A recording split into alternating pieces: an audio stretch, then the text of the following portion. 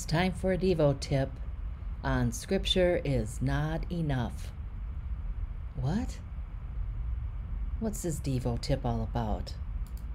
Well, many of Jesus' parables begin with, The kingdom of God is like. But the disciples, they were confused by them. They asked Jesus, Why do you speak in parables? in Matthew chapter 13. They suggest that he might be more successful if he would speak plainly and just lay out his main point. But to their surprise, the reason Jesus says he teaches with parables is so that people will see, but not see, hear, but not hear. Why does Jesus say that? Aren't teachers supposed to be clear?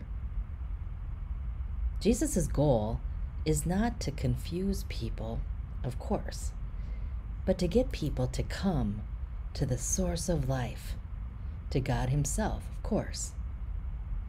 You see, parables are not nice little bedtime stories, nor do they provide cool spiritual truths to apply to our lives. No, every parable is an invitation to join a revolution that thrives on sacrificial love, mercy, humility, truth, and justice. In the parable of the sower, God is secretly planting seeds for this subversive movement. Jesus calls the seeds the word of the kingdom. Seeds of God's kingdom are being planted and are growing even if its growth remains hidden to the world. Now, some receive the word gladly as soon as they hear it, but notice, it does not sink deep into them, and they don't last long. So, when trouble or persecution comes because of the message, they give up at once. Oh, oh.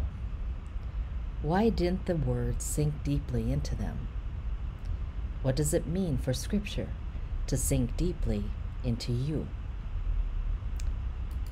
Well, when you pass through suffering, you realize something very special. You realize that it is not enough to have Scripture. What do I mean by that? Well, Richard Wurmbrand, who suffered greatly because of his faith, he was thrown into a Romanian prison for 14 years.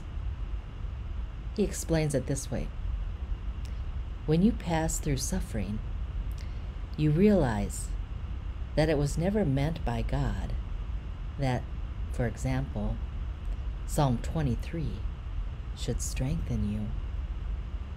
What? He says no. He's not minimizing the word, but he's saying something very important. He says, it is the Lord who can strengthen you, not the psalm, which speaks of him.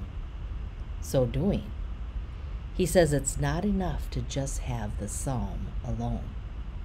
You must have the one about whom the psalm speaks. He goes on to say that everything, everything depends on whether we have remained in the sphere of words or if we have merged with the divine realities of God Himself. Join the revolution, my friends.